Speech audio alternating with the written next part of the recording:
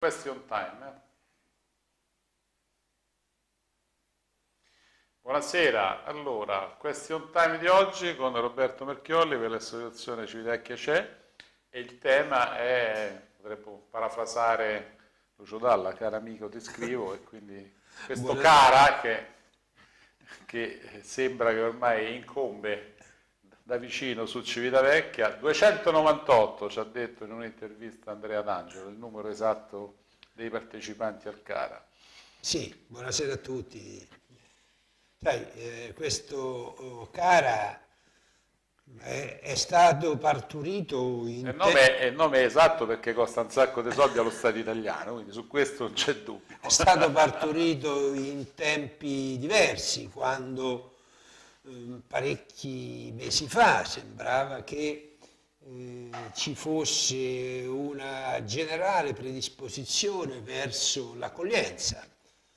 Purtroppo questa cosa è venuta un po' a meno, eh, si stanno rimettendo in discussione tutta una serie di, di rapporti anche internazionali, eh, si sta rivedendo un po' questo discorso dell'accoglienza perché eh, l'accoglienza dovrebbe essere distinta, ma senza entrare nei vari meccanismi. Certo, certo. C'è l'Olanda capofila, eh, esatto. no, no, no, migranti e no euro. Eh, no migranti, c'è la Svezia che dice chiudiamo la frontiera. Poi È notizia di oggi che diamo 200 milioni di euro alla Turchia per i migranti che arrivano in Turchia, eh. però per noi ancora Renzi non ha chiesto una cifra precisa. È notizia, è notizia di qualche giorno fa che praticamente eh, la Svezia che produce eh, una quantità di carne di maiale eh, molto alta, eh, obbliga eh, a mangiare la carne di maiale perché anche eh, quelli che sono lì, stranieri, gli immigranti, debbono mangiare quella carne che guarda,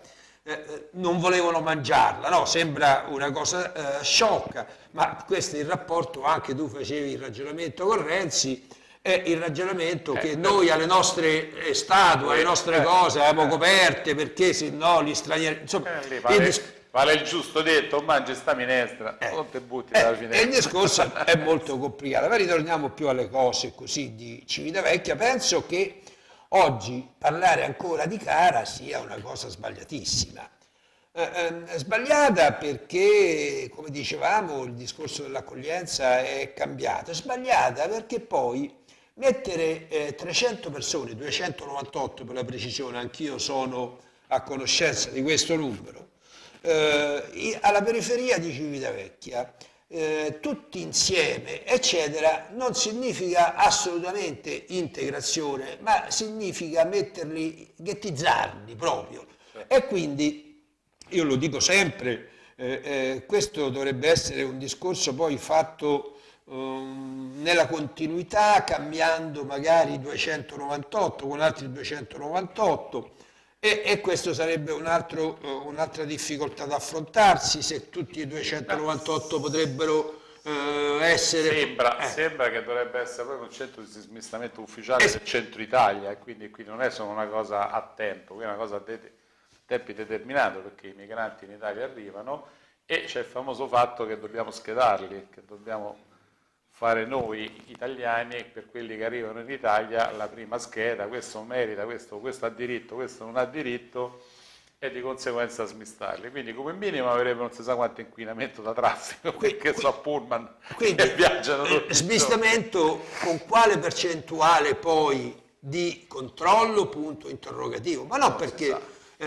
eh, debbono essere controllati, ma perché c'è una perdita fisiologica nello certo. smistamento eh, di persone che poi magari andrebbero ad eh, accumularsi. Non certo. ci scordiamo che adesso... Le immagini che vengono da tutta Italia sono molto pessimistiche. Cioè a Civitavecchia... Ci sono i centri ma non ci sono i controlli. A Civitavecchia attualmente, eh, fra quelli regolari e quelli irregolari, ci sono circa 5.000 persone, 5.000 stranieri, il 10% della popolazione. Certo.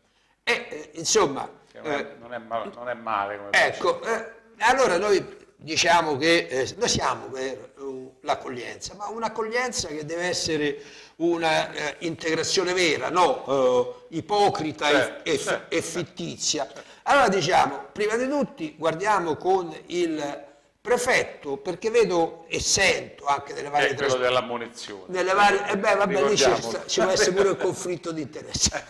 Però io dico, se, caso strano. Se l'arbitro mi ammonisce, poi dopo ci va, non è che la partita dopo può eh, tornare all'arbitro. Vabbè, insomma, eh, uno, chiede, uno, chiede, sempre il cambio dell'arbitro quando l'arbitro si comporta, certo. quando l'arbitro si comporta male, perlomeno nel, male, campo, diciamo. eh. nel campo calcistico, presunto tale eh. eh comportamento. No, Però, io dico, a parte il discorso di come fare l'integrazione, io dico, è, l'ennesima occasione persa dalla Giunta 5 Stelle che si trova a gestire questa richiesta da parte dello Stato centrale per trarne un minimo vantaggio. Io dico, abbiamo da mettere questi migranti qua, diciamo, è un obbligo. Potremmo fare le barricate, potremmo no, porci... no, no, non condivido. Dico, potremmo opporci, no le barricate, cioè, potremmo opporci a questa decisione. Sì. Allora, se io vado a trattare, perché col prefetto si sta facendo una trattativa, giusto, con la certo. prefettura, io dico, è possibile che una caserma che non si sa quanti metri quadrati ha, chilometri di spazio di aria, ne prendono solo una parte che viene allestita con le barberie, con i, forse pure i negozi per questi migranti, noi non pigliamo un altro quarto di caserma e lo adeguiamo per l'emergenza abitativa a spese eh, chi ci chiede questo? Mi sembra, mi sembra, ragionevole il tuo discorso, ma io non voglio farlo eh, in questa direzione. Io voglio dire che quella caserma non deve accogliere le 300 persone. Allora, le 300 persone devono essere eh, di meno. Perché devono essere di meno? Perché eh, dovremmo prendere noi la quota che è collegata a tutta una serie di situazioni che riguardano tutti i comuni d'Italia, certo. Già abbiamo superato, quindi vabbè, però dovremmo accogliere quella quota lì, in proporzione alla grandezza della nostra città.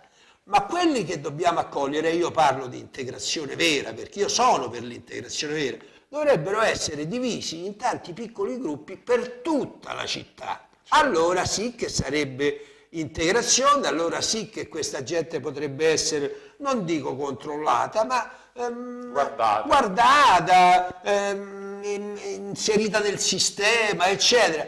Mm, ritengo proprio che la cosa più sbagliata, indipendentemente dalle altre motivazioni che sono mh, mm, abbastanza eh, lunghe a trattare, eccetera, ci sia proprio un, un, un difetto di base in questo, quello di mettere 300-298 persone insieme, che sicuramente, torno a ripetere, non è integrazione ma ipocrisia, pensare di cambiare quel ragionamento con eh, il razzismo, no, con tutte le... Io credo che loro neanche ci sono arrivati a questo, perché qui se fanno un centro di scambio è semplicemente dove si mette il bollino blu o il bollino rosso, cosa che l'Italia deve fare perché se no non becca i contributi voi per, per l'accoglienza dei migranti e tutte altre cose del genere. E quindi noi ci troviamo a gestire in pratica un check control, un checkpoint diciamo, ah, come si dice adesso, dove dice alto, ferma, tu chi sei e vieni qua. Però questo giro dei 300 poi comporta un altro giro dei soldi che gestisce la prefettura.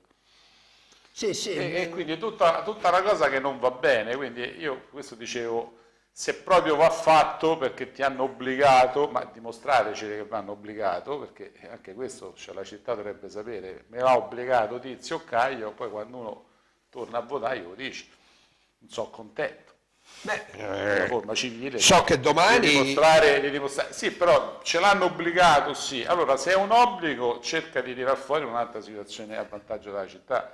Invece sembra che dalla minoranza hanno detto cerchiamo almeno di far lavorare la gente delle partecipate nei servizi, così non ci sono più problemi di quell'occupazione e forse il bilancio della partecipata aumenta.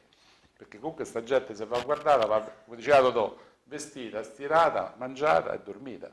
Sì, tu hai un ragionamento molto più completo.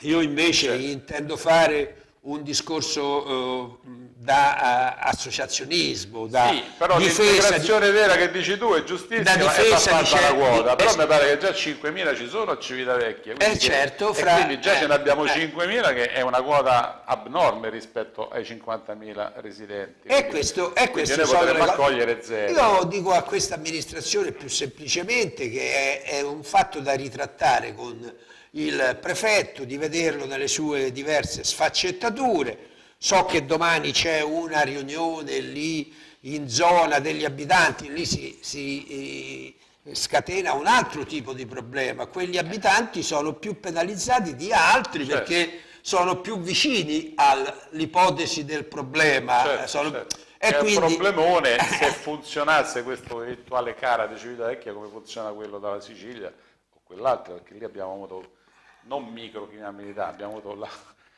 fatti criminosi diciamo, all'ordine del giorno e non micro. Però il concetto è sta trattando senza, senza condizioni, ecco, senza me, porre condizioni. Eh, no, eh, quello che dici tu è diverso, si sta eh, rendendo senza eh, condizioni, eh, invece secondo noi deve trattare e mettere delle condizioni, così come lo hanno fatto anche altri sindaci in altre certo. parti, perché insomma è l'argomento uh, quasi del giorno questo, certo. tu apri la televisione e vedi che da tutte le parti certo, certo. c'è questo questo ragionamento in atto, insomma eh, noi dobbiamo cercare come eh, cittadini di Civitavecchia a difendere la qualità della vita de, de, nella nostra città, ma eh, senza disdegnare quello che potrebbe essere considerato un fatto ehm, anche eh, positivo, ma non eh, prendendoci tutte le responsabilità, tutte le colpe di quello che succederà in futuro collegato a un'operazione che non ci lascia per niente tranquilli.